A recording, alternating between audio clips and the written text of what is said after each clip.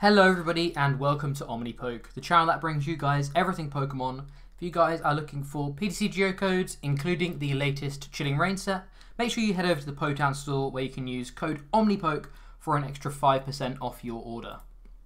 Today, as promised, I'm going to be going through some single prize decks. Uh, this is going to be one of the last five ways to play uh, that we're going to be doing for this uh, format for now and it's going to be five ways to play single prize decks. Um, which obviously there's a lot of uh, contention as to uh, all of the negativity around VMAXs, tag teams, that kind of thing. So it's always good to uh, breathe a bit of a breath of fresh air into some archetypes with some one prizer decks. And we're kicking things off with actually a really, really interesting Decidueye build. Uh, so the first deck is actually a deck that ended up winning the Limitless Invitational uh, that took place uh, this weekend. Uh, basically, it's Decidueye, uh, but with an Inteleon engine rather than some of these uh, other engines we've seen in the past. Um, quick shooting can help supplement the damage, whilst Shady Dealings on the Drizzile and Inteleon can help smooth out getting candies, uh, ball search cards, that kind of things to get uh, Decidueyes into play. So yeah, we kind of know the strategy behind Decidueye decks nowadays. It's just hope that your opponent doesn't really have any answers uh, and, uh, to be able to deal with this deep forest camo. Right now, a lot of people are omitting techs for things like Decidueye, uh, so this can really capitalize on some of those uh, decks that really aren't sort of teching for the uh, matchup at all. Interestingly, because of this deck's win, it's likely that we're going to see a bit of a rise in uh, techs in people in people respecting this kind of archetype. So it may not be immediately the best way to play uh, the best single prize deck to play, but uh, this looks like it could be a very interesting new way to play Decidueye um, compared to some of the older lists that we've seen.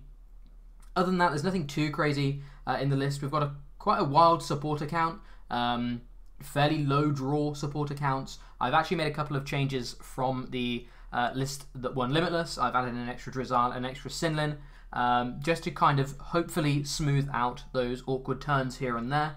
Uh, Big Parasol is one card that I think people may be questioning. Uh, this is actually really good against Calyrex. Now, Calyrex, uh, Calyrex's second attack does 50, puts 5 damage counters, sorry, on two of your opponent's Pokemon, uh, which would get around Deep Forest Camo.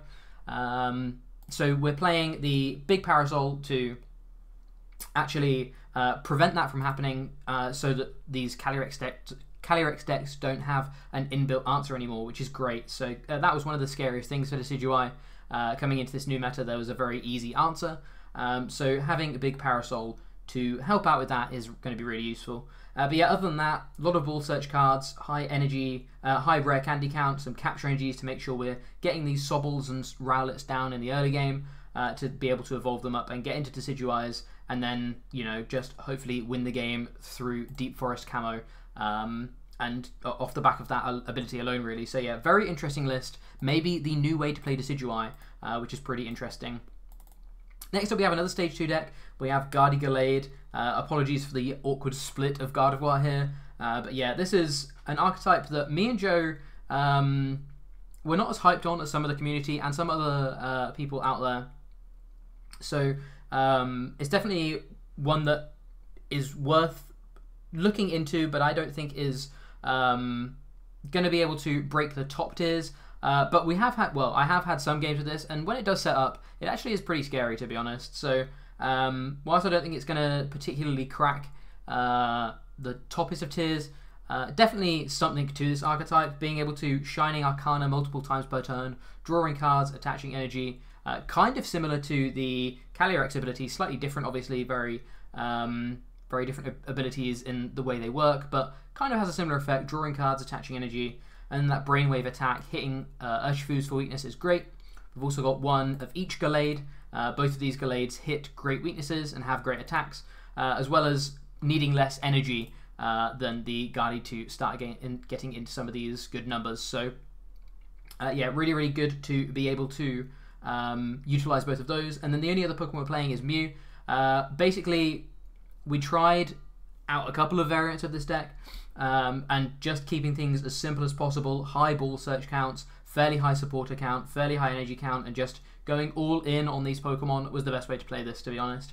You can play something like a Guru to help out uh, with the Shining Arcanas getting energy onto the top. But as you can see, right now we're playing zero switch cards because basically whatever's in the active you're probably going to be attacking with anyway. Um, and if they're trying to gust anything up, we can accelerate to basically any of our Pokemon to, to make them into an attacker if needs be. Uh, so we're not running any switch cards. If you play Gurus, you probably do have to play switch cards. Maybe you could greed it out and try and get away with it. Uh, but you can play uh, sort of a Guru engine to try and help out with the Shiny Arcanas. But yeah, do note that you have to slightly adapt the deck list uh, to accommodate for that. But yeah, like I say, other than that, four, four, four, four of all of the ball search cards just to guarantee we can actually get these Pokemon into play. Uh, because basically you live and die on being able to Mirage Step on turn 2 into getting some Gardevoirs out. And even sometimes Mirage Step on 2 can be a bit awkward. Uh, it doesn't guarantee you the game or anything like it sometimes used to with something like Frogs.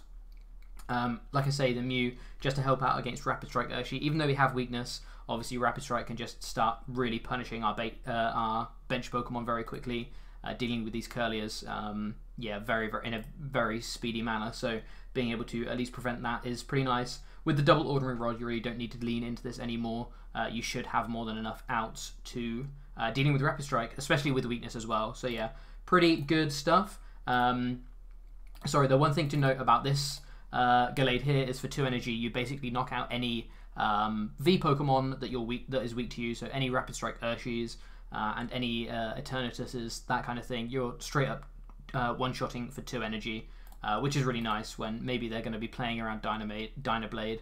Um, obviously, Eternatus can't really do that, uh, but Rapid Strike definitely can. So uh, this this um, Gallade here gives us a bit of an out to both of those uh, situations, which is nice.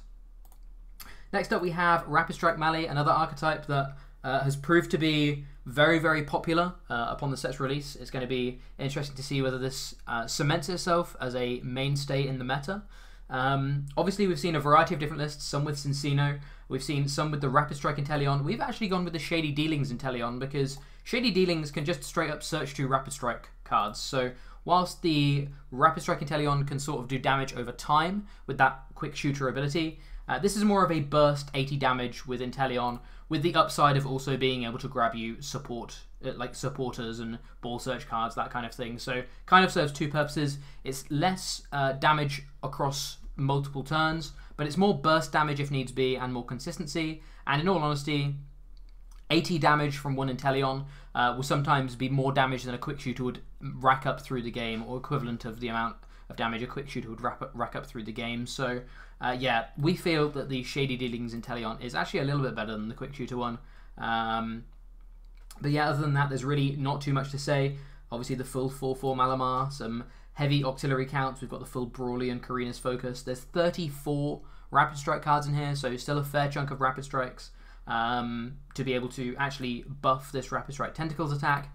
Uh, and yeah, a really fun deck. I've actually seen a lot of gameplay of this, and it looks like a lot of fun um, to be able to just dish out a lot of damage out of nowhere, draw a load of cards with things like Oricorio, Korrina, um, and then rack up a load of damage out of nowhere. Uh, it's pretty interesting, a lot of fun to play, so I definitely would recommend this one. Next up, we have Single Strike Box. This was an archetype we actually tested pre-release uh, or pre the release of Chilling Reign, and we were pretty impressed by it, to be honest. Initially, uh, back in the day, we were playing uh, the Single Strike Urshifu, um, but now it turns out Stonjourner just does enough damage with Giga Hammer, and even Land's Pulse can be quite threatening in the early game in combination with Single Strike Energy um, and Karen and things like that. So yeah, it's pretty interesting. Uh, it turns out this Stonjourner is just doing enough. It's doing it, what it needs to be doing compared to um, something like an Urshifu. So we may as well just play the one prize version and stop our opponent taking two or even three prizes against us. Obviously, Strongtail uh, on the Seviper is great against all of these Calyrex decks right now, as well as just being a very, very efficient attack on a one prize Pokemon that has scalable damage with things like Karen and uh, Rapid Strike Energy, as mentioned previously. So, yeah, really, really strong. We have a couple of captures to make sure the deck uh, is flowing, and then early game we can grab these Houndours. Um, which is pretty important. Capture is basically live on all targets because all of our Pokemon have at least one colorless energy cost, so capture is never really detrimental um, to be attaching turn one to start getting into the game. Obviously, again, we're playing that Mew just to really be able to uh, not immediately lose to something like a Rapid Strike Urshifu, uh, going ham and being able to maybe take out both of our Houndours turn two if we're going second. Uh, so yeah, we have to play the Mew in this case. Obviously, this is leaning more into the uh, single strike support account to be able to buff Strongtail's damage. Uh, that's why we're not going to see any Marnies in here. It's just going to be Bruno's and Karen's Conviction. Um, and then along with the sort of single strike package, we've got the four urns, the couple of lanterns, and uh, a couple of Tower of Darkness to be able to churn through the deck uh, and hopefully draw into these pieces. Uh, I actually think this could be a very, very strong deck in the meta. We haven't really seen anyone uh, toying with it too much in this first week or so of tournaments, uh, but I think if left unchecked, this actually could be a really, really interesting archetype. Having weakness on two great Pokemon, as well as just raw damage output to be able to KO non-evolving Vs and that kind of thing, um, is actually really, really scary. So I think this could be a bit of a sleeper pick right now, and uh, I'm definitely interested to try it out in some of the upcoming uh, Chilling Reign tournaments. Finally, we have a really fun one. We have Cinderace. Now, obviously, the new Crisis Power Cinderace is uh, one of the big buffs for the deck, Crisis Power, uh, being an insane late game swing card. Uh, 30 more damage for each prize card your opponent has taken. That in combination with Karen basically is 50 more damage for each prize your opponent has taken. Uh, and Fireball Shot is already doing 2 for 150. So it, they only need to take 4 prizes to be able to be, uh, for us to be doing 350 damage to uh, basically knock out any V max Pokemon, which is crazy. So all of a sudden, Cinderace actually had some very, very minimal success in the previous format. Um, now it moves more towards a two-shotting a VMAX uh, with with the Flare Striker Libero Cinderace. Uh, this 190 attack in the early game, just slowly two-shotting through, letting our opponent take some prizes on us, and then coming in with a Crisis Power Cinderace, dropping that Karen down, and just being able to go bang. I've done 350 damage and I've won the game. Obviously, um, against things like ADP and stuff, it can be a little bit awkward because they're taking multiple prizes. Uh, we do have to play the Mew so that Rapid Strike can't be doing that against us. Again, we're playing the double Ordinary Rod count to really lean into the a lot of these one-off Pokemon. Uh, you can see that it's kind of a similar sort of uh, engine to that Rapid Strike uh, Urshifu list that we we took a look at yesterday and that has done well. Uh, early game Snorlax and Jirachis, mid game Cinccino's, whilst we power up our attackers. Uh, and yeah, like I say, the plan is to sort of churn through a couple of basically two or three prizes, or sorry, three or four prizes worth um, of Pokemon with Flare Strike, uh, Flare Striker, and then using Fireball Shot on the Crisis Power one to close out the game, sort of out of nowhere. You you know you can go from having a Scorbunny with a Fire Energy attached to all of a sudden doing 350 damage um, in the space of a turn, which is pretty crazy. Uh, so yeah, nothing crazy to look at in this list. Other than that, uh, the support count is a bit wild. We have to accommodate for a lot of different things, but again, uh, we've seen this kind of Cinccino supporter engine work before, where you're running some of these more uh, or less aggressive draw supporters compared to research, uh, to and just kind of really leaning into Snorlax and Jirachi in the early game uh, until you can establish Cinccinos. At which point you don't need to be doing this raw these raw draw sevens with research. You can just supplement them with things like Birdkeeper and stuff.